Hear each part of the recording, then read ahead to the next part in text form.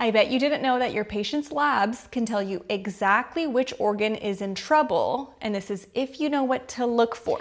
Let's go through some of the most important ones that you'll see in practice. Let's start off with the heart. So we have troponin. This is specific for myocardial infarctions.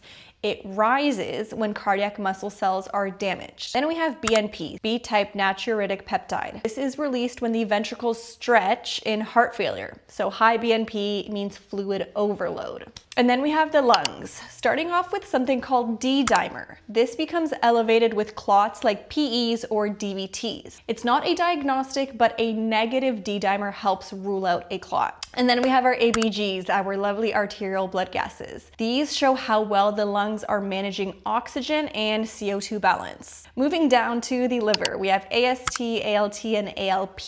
These are enzymes that rise when liver cells are damaged. And then bilirubin, this increases with jaundice or bile flow obstruction. And then our kidneys, we have our BUN and creatinine. These both measure renal function. Elevated levels of either of these mean impaired filtration. And then GFR is actually the opposite. So these best estimate how well the kidneys are working. So a low GFR means that there's decreased function. And then our beautiful brain, we have a lab called ammonia. So this is both liver and brain, but essentially ammonia can rise in hepatic encephalopathy when the liver can't clear toxins, and this will ultimately affect mental status. So each of these labs gives you a clue about which system is failing. The trick is to connect the dots, and this is something that you really learn as you work as a new grad nurse. If you comment labs down below in my Instagram comment section, I will send you a free reference guide that maps common labs to each body system.